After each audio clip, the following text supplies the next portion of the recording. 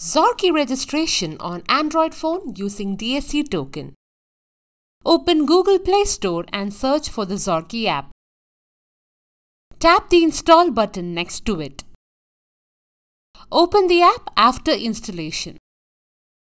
A brief welcome screen is displayed. You will see three registration options. Choose token to register your DSC.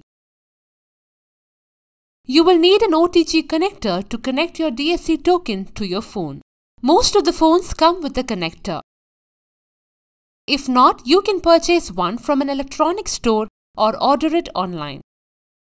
If the token is not detected, you must activate the OTG connection manually in the phone settings. xorkee asks for permission to access your DSC token. Tap OK to grant access. Enter your token password. xorkee will display the digital certificate along with the holder's name, issuer's name and the certificate expiry. If your token has multiple certificates, choose the one you intend to use.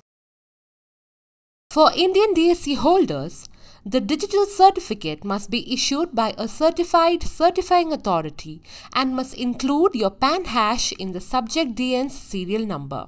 Enter your desired xorkee handle. This handle is a string used for identifying the user. It can contain letters, numbers and some special characters like underscore, at the rate, dot and hyphen. Tap register. If the handle entered is already taken, you will have to enter a different handle. xorkee also gives you an option of using your fingerprint instead of the token password. If you are sure you will be using the token on this phone often, tap Yes. Your DSC token is now registered with xorkee. This handle is your identity.